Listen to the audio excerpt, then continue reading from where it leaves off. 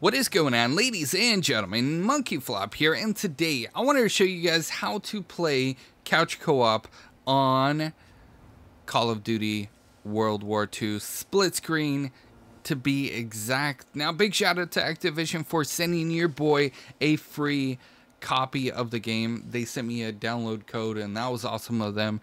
Today I had some friends over and I was playing Call of Duty, and uh, they're like, "Hey, let's play split screen." And you know, split screen's not that popular, but I was like, you know what? Okay, let you know, let's play split screen. But I couldn't figure it out. And when you're in headquarters, you you can have two accounts logged in. Right now, I have two controllers with two accounts logged in, and they're I'm just showing you guys really quickly. I got Madam Eve's account logged in. Now I'm back on my account and uh, let's go back into the game and we're in headquarters. There's no way we can do it. But guess what? You press options. Down at the bottom left hand side you see where it says press X to play. What the hell? So I pre you press X and if you look at the top right hand side where it says 2 out of 18 waiting for the party leader um, that's my that's my other controller um, if you guys can see, I'm going to press circle really quickly. And then voila, she's gone. And now she's back. Okay, you could do that.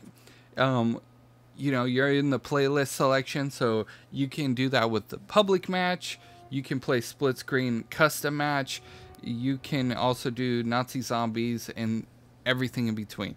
Um, but man, it was so difficult. So I wanted to show you guys really quickly. I'm going to just pop into a game. Here you see both of my accounts logged in and you have access to, uh, you know, customizing each one as you would anything else. And uh, let's go back to the lobby. And now I'm going to go and just show you guys Monkey Flop. That's Monkey Flops, okay? Uh, don't look at my KD, by the way. I'm still barely, barely getting into the game.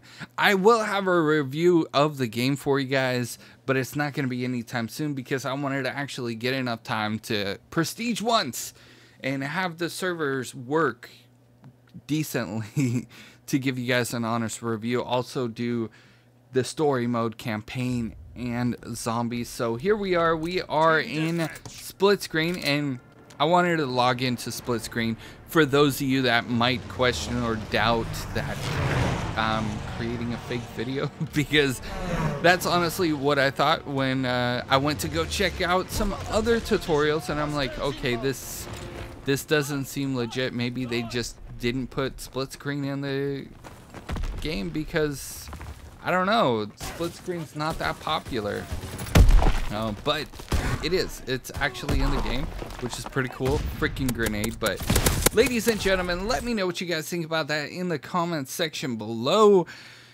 If you if this helped you out, because honestly, I wish I would have found a tutorial like this. Uh, to be completely honest with you guys, uh, so that way I wasn't just scratching my head in the dark with you know not not in the dark but you know what i mean. I was clueless and my friends are over and stuff and can't play anything but um, if this helped you out at all can you feel the frustration?